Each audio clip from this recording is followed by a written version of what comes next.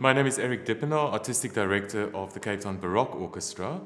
We are recording several clips of Baroque music meant to be played at home, so for domestic music making situations. And we are doing this in the home of Cape Town based harpsichord and organ maker Bill Robson.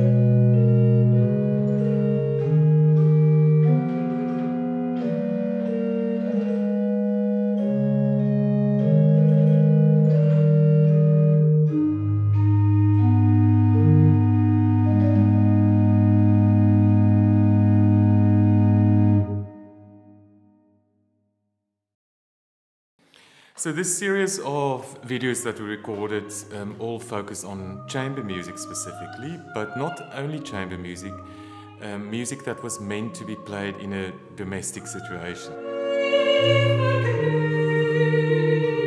And it's something that in fact arose from the whole COVID 19 pandemic.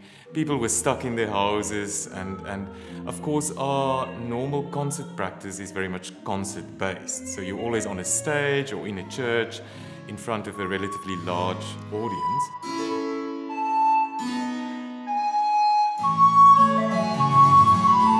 It made me think again about the fact that much of the music that we play was in fact meant to be played at home.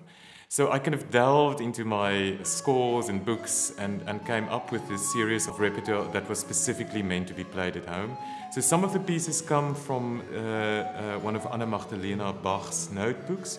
And we know that those notebooks were in, in fact almost like a, a summary of what the Bach family would have played at home. It was very much copied and meant for them to, to play together as a family.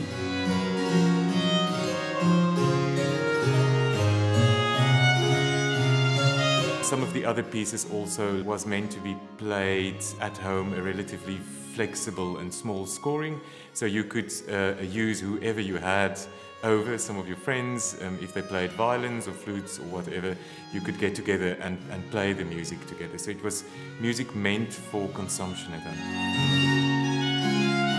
Bill Robson, harpsichord and Baroque organ maker for many years, his house is a kind of open house situation for lovers of music and specifically lovers of early keyboard instruments. I'm an electronics engineer by training. I decided various reasons that, that I wanted a, a, a better job. And then I was already building myself a little spinet, so I finished that. And then someone ordered a spinet, and one thing led to another, and then, then the orchestra people came to me and said, we, we have no one to repair violins, repair bows. Please, won't you learn how to do it? and then I just never went back to electronics. I like to think of my instruments all around the world that are still used, will still be used, and don't change. What's, what's already out of date stays out of date. Bill has had for many years, every last Sunday of the month, a kind of amateur Baroque group that meets here at four o'clock and drinks a glass of wine and, and sight reads music and so on. So, in a way, this house conveys much of that meaning of domestic music making and much of the original intention of the music.